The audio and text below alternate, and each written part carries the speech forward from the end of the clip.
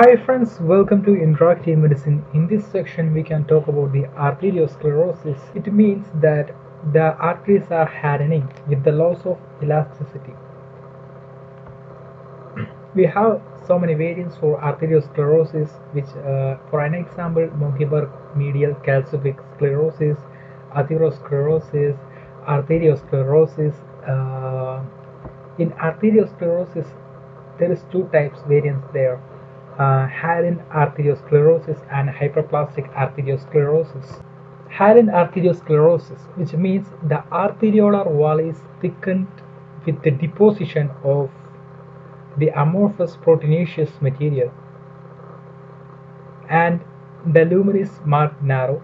Here is the lumen becomes narrow, and also hyperplastic arteriosclerosis. Hyperplastic means hyperplasia. Hyperplasia means the increase in cell number. Which cell is increasing here? The increasing cell number is smooth muscle cell. So here we can see and then narrow the lumen is become very narrow here uh, it's like onion skinning shaped we can see here in arteriosclerosis the deposition of amorphous substance for example hyaline uh, the arteriole become and hardened. Uh, it can happen in old age conditions hypertension diabetes mellitus and hyperplastic uh, arteriosclerosis. It's the increase of concentric ring of tunica media due to increase in smooth muscles.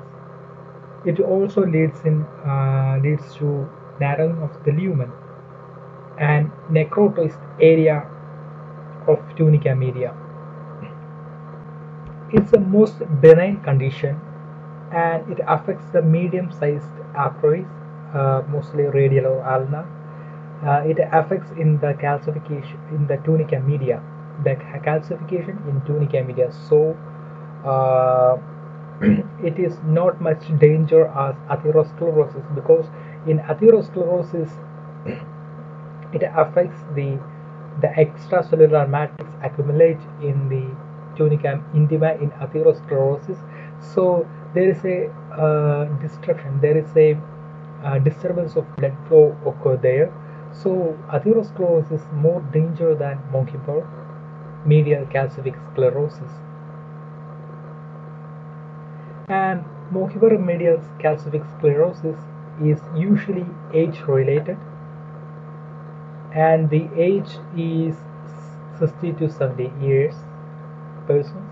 Calcification does not encroach into intima, hence no dangerous complications. Present. Usually involves upper limb or lower limb arteries. In x-ray in x-ray we can see uh, the artery is like a pipe. So the x-ray sign is known as pipe stem x-ray sign we can see here. Here is our artery and the tunica media is calcified. So there is a opacity present here. Here is the calcification occur in the tunica media in Monckeberg sclerosis.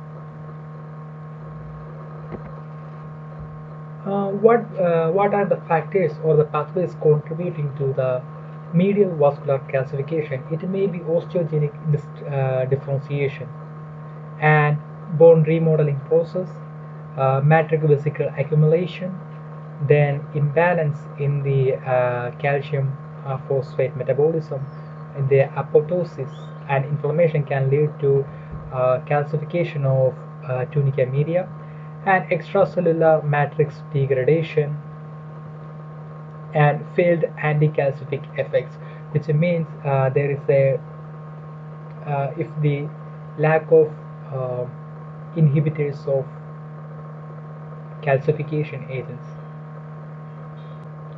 This is the arterial calcification the mechanism of initiation.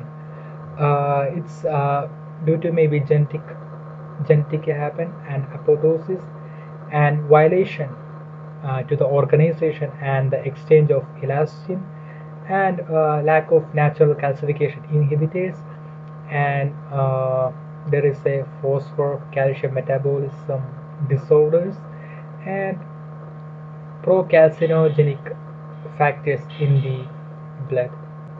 Uh, we can differentiate the Monckeberg sclerosis from atherosclerosis. Uh, Monckeberg sclerosis is affects the tunica media, so atherosclerosis tunica intima. And what happens in Monckeberg sclerosis?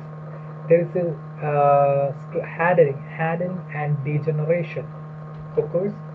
In atherosclerosis, uh, infiltration, infiltration of monocytes and T, uh, T, T cells and uh, proliferation will happen.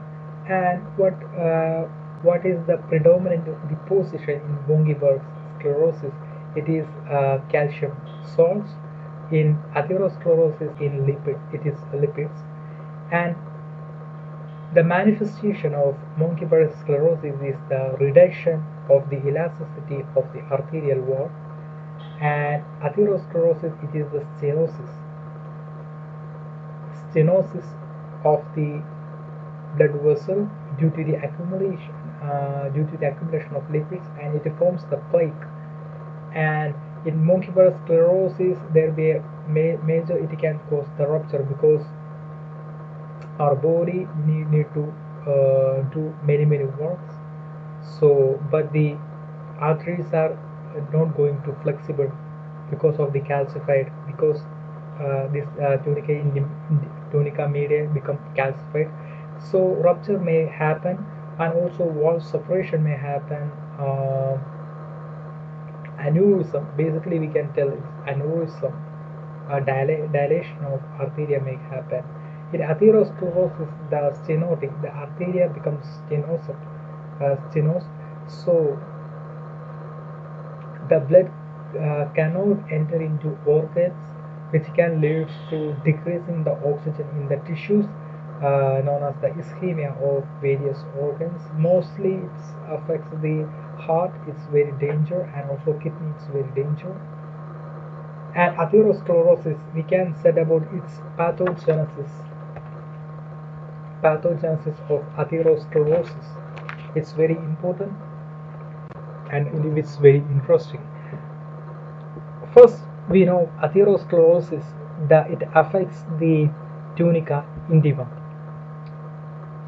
and it forms fibrous fatty plaque so why atherosclerosis forms? We can basically say it is the injury to the endothelium.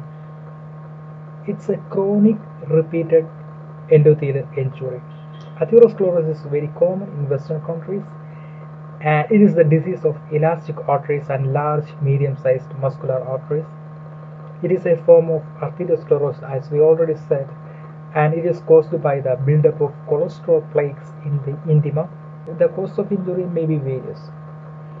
And what happened to the endothelial cells? It's uh, we need to un understand what happens to endothelial cells when uh, some uh, uh like for an example smoking diabetes hypertension blood pressure these these variant etiological factors can cause the endothelial injury. And uh, we already know in western countries more than 50 percentage of western people are dies because of atherosclerosis.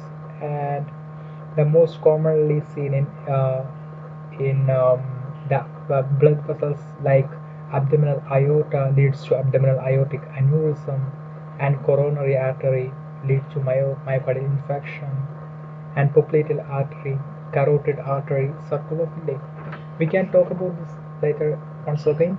And what are the cells playing playing role here? We can see uh, here is the lumen of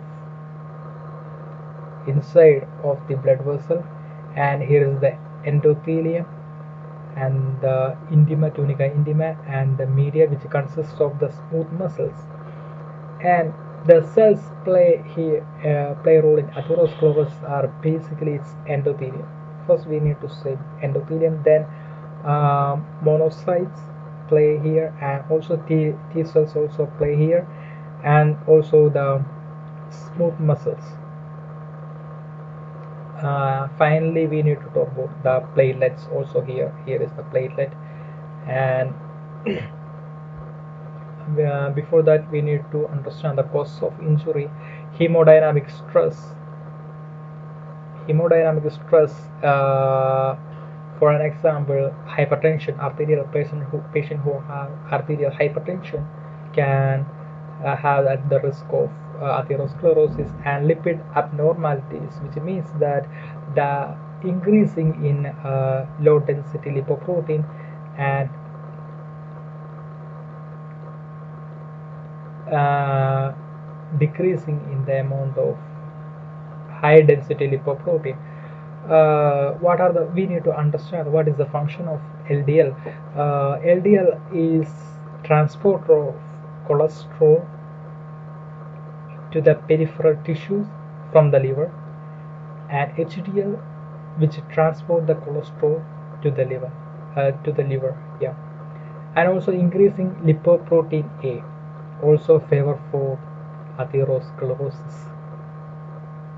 And smoking is one of the risk factor and homocysteine and toxins especially endotoxin. Microbes such as uh, cytomegalovirus and chlamydia and pneumonia. Chlamydia produces uh, heat shock proteins uh, stimulates the macrophages. Macrophage relaxes proteinases and leads to rupture of endothelial cell. It's a severe complication.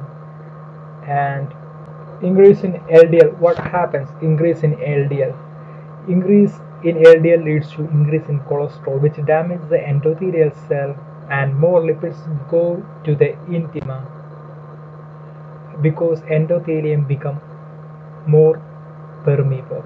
So this is from arginine and vasodilation here is our important reduces platelet and leukocyte adhesion and nitric oxide produced in phagocytes in cytotoxic to microorganisms.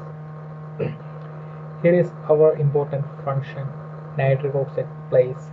Uh, it reduces platelet and leukocyte adhesion. But we need to understand here the LDL is enter into the tunica intima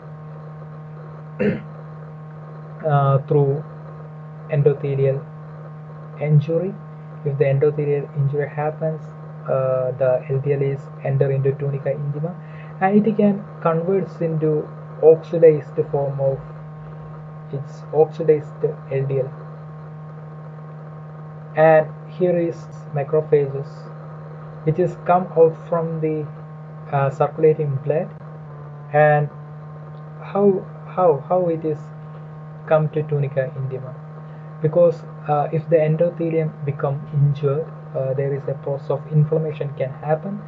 And so uh, the monocytes circulating in the lumen of blood vessels is come to here because oxidized LDL is a form of is act as a uh, chemotac uh, chemotactants.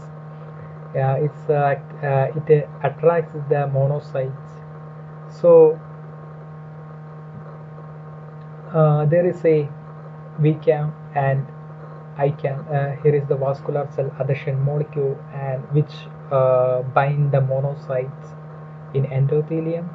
And some monocytes are penetrated to intima and which binds with the oxidized form of cholesterol oxidized to cholesterol. We have it's, it's uh, it is scavenge the LDL and it engulfs and it form foam cell accumulation. It can engulf the the macrophages loves the oxidized LDL and it forms the foam cell accumulation. This foam cell acts as a chemotactant and the proliferation and migration of smooth cell happen.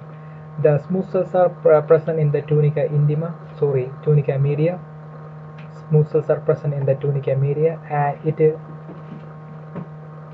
it comes out from the tunica media to tunica intima and it forms the collagen fibers or extracellular uh, extracellular matrix. It releases it produces extracellular matrix. And finally we need to understand the if the endothelium is uh, damaged the von Willebrand factor become uh, produced. So so what will happen is the platelet uh, the adhesion the platelet adhesion will increase. And also platelets is accumulates here as keeping on increasing. And finally the macrophages engulfing as much as uh, cholesterol and it bursts out and it's damaged and destroyed. So uh, we can find the lipid core here and lipid core and around we can see uh, around we can be some lipid core and here around we can see the fibrous cap. Fibrous cap is made up of by uh, smooth muscle cells and macrophages. Here is oxidase the LDL and what are the how, what is the action of oxidase the LDL uh, to various kinds of cells endothelium macrophages and smooth muscle cells. And in endothelial cells it mainly causes the injury and increase the gene expression for adhesive proteins colony stimulating factors chemotactic factors and influence of oxidase the LDL in macrophage is chemotaxis and exocytosis activation and endocytosis activation. We know uh, the macrophages which release the tumor necrotic factor and IL-1 which can furthermore make inflammatory repeated stimulation of cells which leads to the increased permeability of the uh, vascular wall. And what is the action of oxidase the LDL in smooth muscle? Which leads to the migration and proliferation endocytosis synthesis of connective tissue components. That is we already said the collagen production. This is the atheromatous uh, plaque uh, which after the bursting out of macrophages which release the uh, cholesterol and we can see here here the cholesterol and the cell debris cell debris uh, the dead cells can accumulate here in the center. And also uh, foam cells and calcium can present calcium can present. And around we can see the fibrous cap which is fibrous cap which is made up of both muscle cells, macrophages, and foam cells, uh, lymphocytes, collagen, elastin, proteoglycans, and neovascularization also may happen in atheromatous plaque. And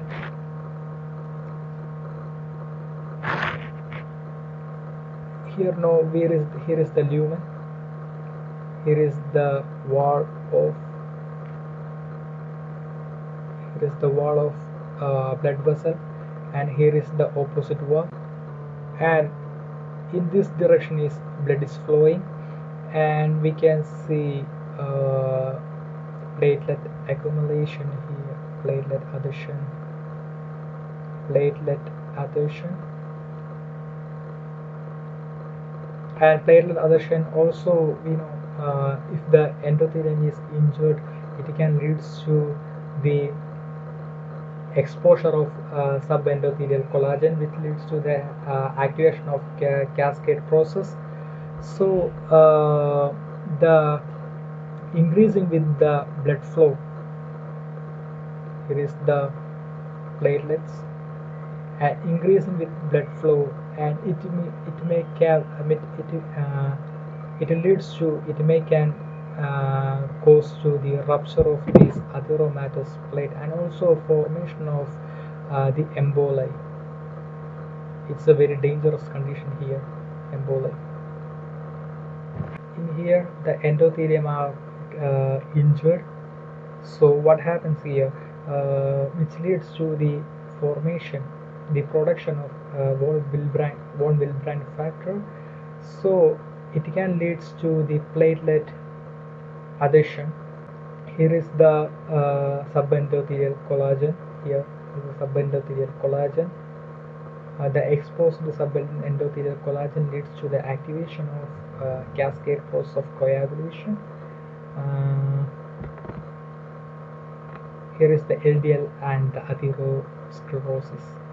Here the superoxide nitric oxide hydrogen peroxide like uh, free radicals which uh, which is uh, which can form the oxidized LDL from normal LDL and antioxidants like vitamin E, ascorbic acid, beta carotene and other antioxidants is prevent us from uh, the atherosclerosis and also infection. Here is the progression of atherosclerosis and the stages is initial lesion, fatty streak formation, intermediate lesion, atheroma, fibroatheroma, complicated lesion. And in initial lesion, what happens here? Here is isolated macrophages foam cells are present. In fatty streak lesion, mainly intracellular lipid accumulation occur. In intermediate lesion, what happens here? Uh, type 2 changes and with the type 2 changes and small extracellular lipid pools present in atheroma lesion uh, with the uh, type 2 changes with the core of extracellular lipid in fibroatheroma lesion lipid core and the fibrotic layer or multiple lipid cores or and fibrotic layers or mainly calcific or mainly fibrotic. And the complicated lesion is with the intraplaque hemorrhage. Surface defect and thrombus formation can happen. And what's here? Sequence of its progression from 1 to 2nd uh, and to intermediate lesion and to atheroma lesion and here to fibroatheroma lesion from here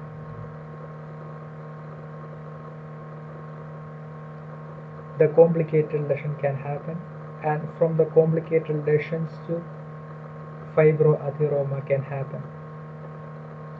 Also uh, instead of this fibroatheroma lesion directly from atheroma lesion to complicated lesion may happen. And the main growth mechanism is the growth mainly by lipid accumulation here from 1 to 4 times. It's mainly because of lipid accumulation uh, in lesion. What happens? Fibroatheroma lesion the main growth mechanism is accelerated smooth muscle and collagen increase in complication lesion as i as i already said thrombosis and hematoma can occur here.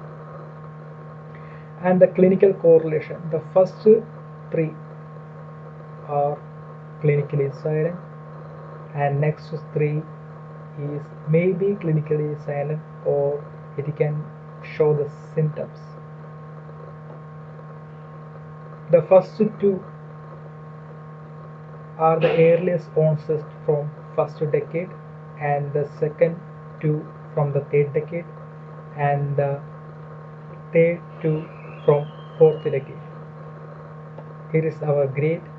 Grade 1 2 3 4 5 and 6 what happens in grade 1 formation of foam cells and leads to fatty streak and extracellular fatty streak and lipid core and atherosclerotic plaque lip, uh, lipid core embedded in fibrosis. In grade 6 compli com, uh, complicated atherosclerotic plaque which means plaque rupture thrombosis hemorrhage can happen. Intra and extracellular accumulation of lipids and formation of lipid core which is asymptomatic in this section in some texts it shows grade 4 up to grade 4 is uh, asymptomatic and last two grades are eventually shows the clinical signs. It uh, it depends on text and blood vessels commonly affects the atherosclerosis or abdominal aorta its major first one then leads to corona uh, then second commonly affected is coronary artery then third commonly affected is popliteal artery then fourth commonly affected blood vessel is carotid artery then fifth is circle of Willis we can make a uh, shortcut here a copycat named Willis. It will make uh, helps you in examinations and the complications of atherosclerosis it can lead to aneurysm ischemia infection peripheral peripheral vascular diseases and thrombus and emboli. Okay friends we can finalize our this topic the arteriosclerosis or the hardening of arteries. It may be hyaline arteriosclerosis hyperplastic arteriosclerosis or Monckeberg medial calcific sclerosis and we need to understand the factors the mechanisms may be genetic or apoptosis we already said that and we need to differentiate this topic uh, the differentiate the Monckeberg sclerosis with atherosclerosis and the general mechanisms of pathogenesis of atherosclerosis is basically it's chronic repeated endothelial injury. Chronic uh, endothelial uh, endothelial injury can lead to the adhesion of platelets and process of inflammation happen when uh, the endothelium become injured and the increasing in the endo, uh, endothelial permeability can lead to uh, LDL uh, lumen to the tunica intima. So here it is becomes oxidized LDL and this oxidized LDL is scavenged by the macrophage. Uh, the macrophage is coming out from its differentiated form of monocyte. And how this is the monocytes is coming into the tunica intima it's uh, nothing it's because of uh, process, uh, process with the process with the inflammation. And also uh, oxidase the LDL is an chemotactic agent uh, for monocytes. So it uh, the monocytes are adhesed in endothelium by VCAM and monocytes enter into tunica intima and engulf. These oxidase the LDL and it forms the foam cell. And uh, eventually it will destroy it and forms a and forms a lipid core and around this is a fibrous cap. And this foam cell act as a chemotactic agent uh, for smooth muscle cells. So smooth muscles uh, coming out of from tunica media to tunica intima and smooth muscle produce collagen fibers. These collagen fibers uh, mostly as uh, form a fibrous caps also with the uh, smooth muscle cell. And we already said about the cause of injury of endothelial cell and the oxidize the LDL in various cell response. Uh, what happens to what happen what will uh, what will cause to endothelial cell endothelial cell by oxidize the LDL and macrophage and the smooth muscle we already said. And the structure of atheromatous plaque and the function of nitric oxide we already said. It reduces platelet and the leukocyte adhesion. But in the presence of uh, in the presence of uh, oxidized LDL uh, the nitric oxide becomes neutralized. So it won't function. Here it is. Endothelial injury can lead to platelet adhesion and coagulation leads to uh, big thrombosis. Here is I set the stages and it will helps stages foam cells then fatty streaks extracellular fatty streaks lipid core atherosclerotic plaque lipid core embedded in fibrosis complicated atherosclerotic plaque. This plaque can be ruptured and thrombosis and hemorrhage also can happen. And the blood vessels commonly affected in atherosclerosis we already said and the complications. Okay friends i think this video is helpful for you. Uh, if you have any suggestions please comment it below. And if you like this video make a thumbs up. And we will improve our video next time. And share to your your friends. Have a nice day guys. Bye